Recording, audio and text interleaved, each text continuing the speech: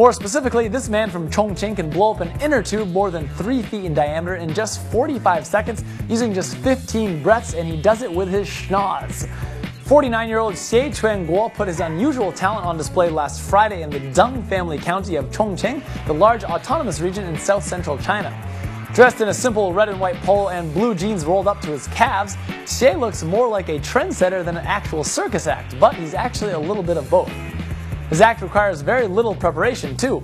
The inner tube of a truck tire about 1 meter in diameter, a white plastic tube, a piece of green tape, and a single balloon. That's it, and yet it is so much more than that.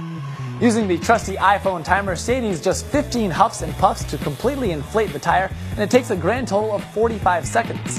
Xie started out as a tailor with a steady if unflattering salary. In 2009, he was introduced to some folk talents and started traveling with a small circus to earn some extra money. But he wanted to get better, so he switched to doing gigs full time.